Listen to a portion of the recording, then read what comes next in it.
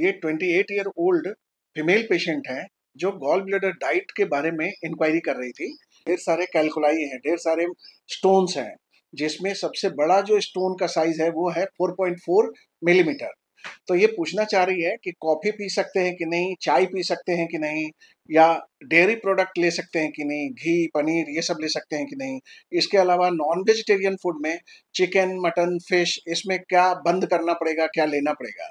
तो आइए समझते हैं।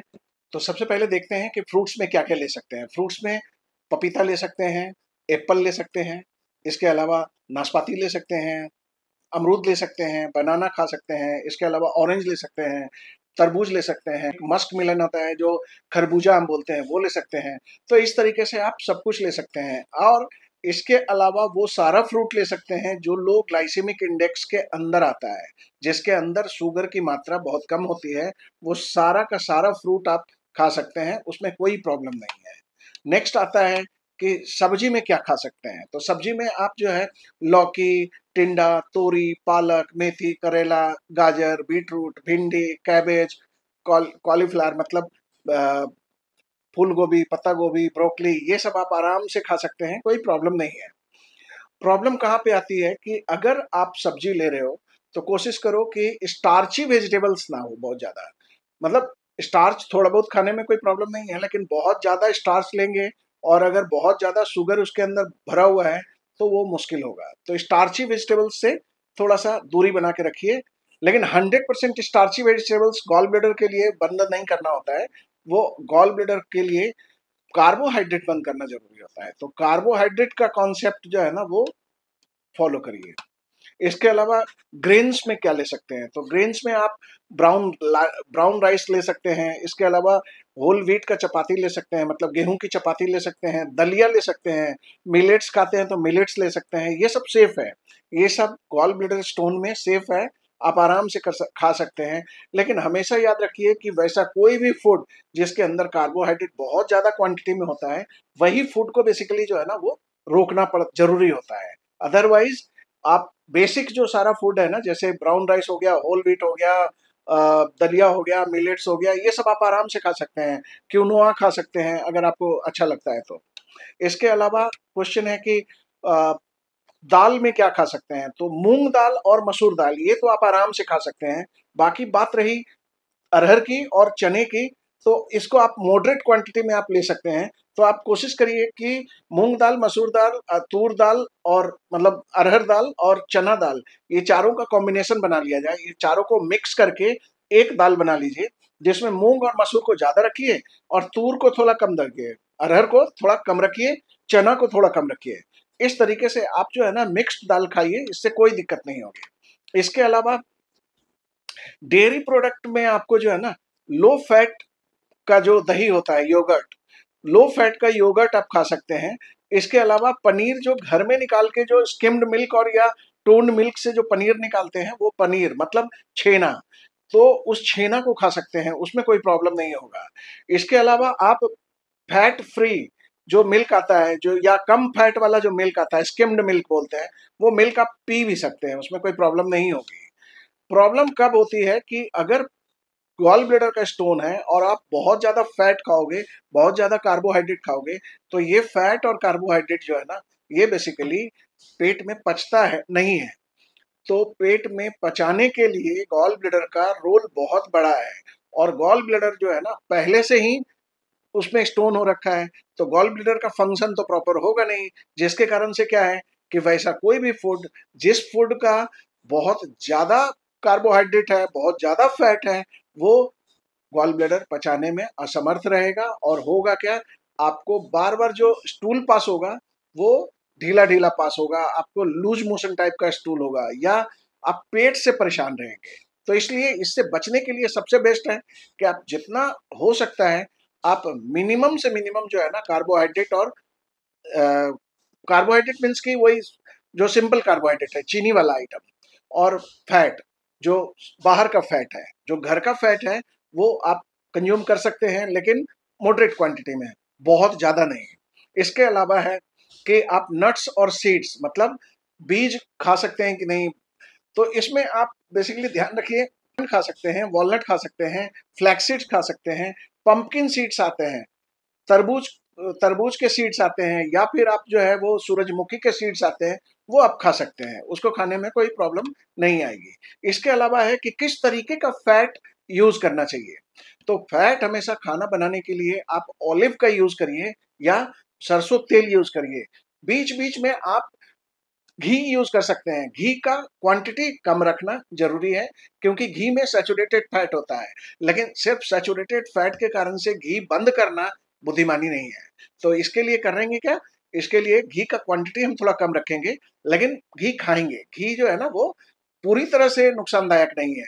घी में एंटीऑक्सीडेंट्स होता है, जो हमारे ऐसे कंडीशंस के लिए जो है ना, वो काफ़ी हेल्पफुल होता है। कोशिश क्या करना है? अगर घर पे खाना बन रहा है तो कोशिश करना है कि डीप फ्राइंग ना हो। उसको हमेशा जो है ना स्टीमिंग करिए हमेशा बॉईल करके खाइए या फिर ग्रिल करके खाइए या हल्का जो है ना तल के खाते हैं हल्का तल के खाइए कम तेल में उसको सॉटे करके खाइए तो इससे आपको को, कोई प्रॉब्लम नहीं होगी।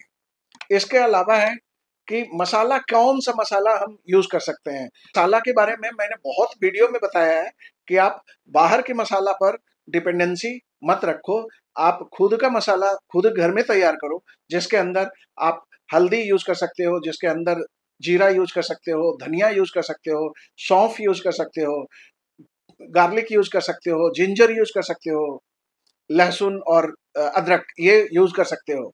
इसमें कोई प्रॉब्लम नहीं होगी। तो अब क्वेश्चन आता है कि पीने के लिए क्या यूज़ करना चाहिए? तो पीने के लिए हमेशा जो है ना, पहला होता है पानी। कि आप पानी ज़्यादा से ज़्यादा पीजिए। नारियल पानी आप पी सकते हैं। उसके अलावा हर्बल टी यूज़ कर सकते हैं। हर्बल टी के बारे में इतना ज़रूर बताएँगे कि हर्बल टी जब भी यूज़ करिए तो ध्यान दीजिए कि उसमें कैफीन तो नहीं है ना। कैफीन वाला हर्बल टी जो है ना, नहीं यूज़ करना है। कोई भी ऐसा फ़ूड जिसके अंदर कैफीन हो, वो आप कम यूज़ करिए। अगर गॉल ब्लडर स्टोन है तो। अगर कैफीन ज़्यादा यूज़ करेंगे तो कैफीन जो है ना, गॉल ब्लडर में, गॉल ब्लडर स्टोन में, बेसिकली पेन डेवलप कर सकता है, दर्द डेवलप कर सकता है तो उसके कारण से हो सकता है आपको एडमिट होना पड़े, हो सकता है आपको हॉस्पिटल भागना पड़े।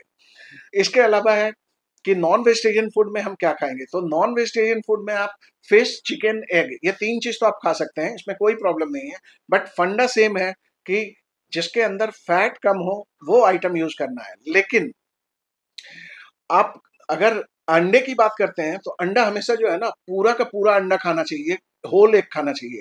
उसको कभी भी एक वाइट के चक्कर में मत पड़िएगा। होल एग ज़्यादा न्यूट्रिशियस होता है होल एग से आपको गॉल ब्लेडर स्टोन में कोई प्रॉब्लम नहीं आएगी। प्रॉब्लम कब आती है? जब आप बाहर का फैट खाते हो ना तो प्रॉब्लम आती है। घर का जो ये बेसिक फ़ूड का जो फैट है ना, इस फैट से आपको कोई प्रॉब्लम नहीं आएगी, आप बिंदास खा सकते हैं। इसके अलावा फ़िश को आप ग्रिल करके खाइए, बेक करके खाइए। चिकन अगर ला रहे हैं तो चिकन में हमेशा ध्यान दीजिए कि जो कम फैट वाला चिकन है ना, जैसे ब्रेस्ट में ज़्यादा फैट होता है तो ब्रेस्ट को कम खाइए। अगर अदर पार्ट्स को जो है ना, आप ज़्यादा चूज़ करिए। लेकिन ऐसा नहीं है कि हंड्रेड परसेंट आपको बंद करना है। आप मिक्स्ड चिकन यूज़ करिए ना, थोड़ा पार्ट उसका, थोड़ा पार्ट इसका, थोड़ा पार्ट इसका तो ये मिक्स होकर के क्वांटिटी कम हो जाएगा फैट का तो ये आप यूज़ कर सकते हैं। इसमें कोई प्रॉब्लम नहीं होगी। इसके अलावा है कौन सा फ़ूड हमें अवॉइड करना चाहिए? तो सबसे पहला चीज़ है कि फ़ूड जो अवॉइड करना है, उसके अंदर बटर है कोकोनट ऑयल है और बहुत ज़्यादा मात्रा में घी है। बहुत ज़्यादा मात्रा में घी नहीं यूज़ करना है। इसके अलावा फ्राइड स्नैक्स जो लेते हैं ना, जैसे समोसा हो गया, पकौड़ा हो गया, पूरी हो गया, ये सब आपको बंद करना है। हाई फैट में बना हुआ स्वीट्स जो है ना, उसको बंद करना है। जैसे गुलाब जामुन, बर्फ़ी, हलवा, ये सब बंद करना है। जो भी ग्रेवी वाला आइटम है ना क्रीम बेस्ड ग्रेवी और जो कड़ी बनाते हैं, वो अवॉइड करना है। इसके अलावा फुल फैट का जो भी डेयरी प्रोडक्ट है, जैसे फुल क्रीम मिल्क या फुल फैट वाला जो पनीर आता है, वो बंद करना है। तो इस तरीके से जो है ना, जो फुल फैट डेयरी प्रोडक्ट है, उसको बंद करना है। रेड मीट हंड्रेड परसेंट बंद करना है। रेड मीट के अंदर बहुत ज़्यादा क्वांटिटी में सेचुरेटेड फैट होता है तो सेचुरेटेड फैट जितना कम लेंगे, आपके लिए बेटर होगा। इसके अलावा, अगर आप अचार के बहुत शौकीन हैं तो अचार की मात्रा भी जो है ना, आपको लिमिट करनी होगी। बहुत ज़्यादा अचार मत खाइए, क्योंकि ये भी प्रॉब्लम क्रिएट करता है उसमें। फैट तो उसके अंदर भी होता है ना तो इसलिए। और कैफीन से बना हुआ जो भी आइटम है, उस आइटम को बंद कीजिए, नहीं तो गॉल ब्लेडर में पेन हो सकता है। एक स्टडी हुई थी, जिसमें ये देखा गया था, तीन चीज़ को एक साथ जो है ना, वो टेस्ट किए। कि कैफीन कॉफ़ी और ग्रीन टी इन तीनों में से कौन सा ऐसा आइटम है जो खाने से गॉल ब्लेडर का स्टोन बनता है? तो एक सिर्फ़ अकेला ग्रीन टी था जिससे गॉल ब्लेडर स्टोन नहीं बना। बाकी कैफीन और कॉफ़ी इन दोनों से गॉल ब्लेडर का स्टोन जो है ना वो आ, थोड़ा फॉर्म हुआ। तो और वैसे लोग जो कैफीन की मात्रा बहुत ज़्यादा लेते हैं उनको गॉल के स्टोन के का पेन जो है ना वो अचानक से होता है उनको हॉस्पिटल में एडमिट होना पड़ता है। तो कोशिश करिएगा कि कैफीन का प्रोडक्ट जो है ना वो कम से कम खाया जाए। तो इसी तरीके से आ, हर डिज़ीज़ के लिए हम डाइट बताते हैं। हर डिज़ीज़ के लिए जो है ना डाइट के डाइट का एक आइडिया देते हैं। तो आप हमसे जुड़िए आप चैनल को सब्सक्राइब कीजिए वीडियो को लाइक कीजिए लोगों तक पहुंचाइए आपके आसपास में जिन लोगों को गॉल ब्लेडर से रिलेटेड प्रॉब्लम चल रही है, उन तक पहुंचाइए। अभी जो हमने लिस्ट दिया, ये लिस्ट पूरा नहीं है, क्योंकि ये तो जस्ट एक आइडिया है ना कि किस तरीके से आप डाइट लोगे।